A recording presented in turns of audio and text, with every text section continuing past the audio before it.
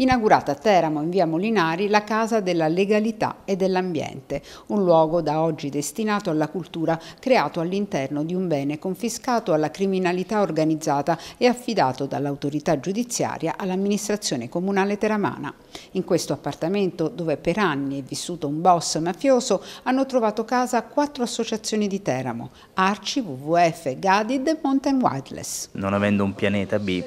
abbiamo pensato di costruire un piano B eh, che per noi è un luogo dove ripartire con alcune attività, nel nostro caso come Arci, proprio dopo 12 anni di assenza di una sede provinciale,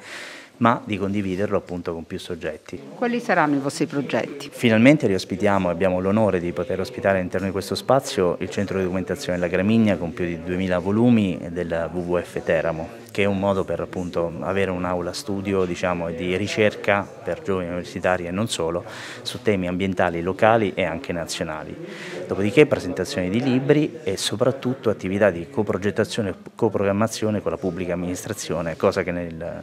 riforma del terzo settore sarà eh, preponderante e fondamentale. Oggi il messaggio più importante che viene fuori dall'inaugurazione da, di questa Casa della Legalità è proprio il valore straordinario della legalità e soprattutto il messaggio della lotta alla mafia, io direi alla cultura mafiosa sempre e eh, ovunque perché non dobbiamo commettere l'errore di pensare che la cultura mafiosa appartenga solo ad una zona del paese, a un territorio eh, specifico, geogra geograficamente circoscritto, dobbiamo combatterlo ovunque e ogni giorno in tutte le forme in cui si manifesta e qui ci apriamo alla comunità e soprattutto alle future generazioni lanciando il messaggio di legalità. La Casa della Legalità e dell'Ambiente di Teramo è solo il primo esempio di beni confiscati, trasformati in luoghi aperti alla comunità. Sul territorio comunale esistono infatti altri spazi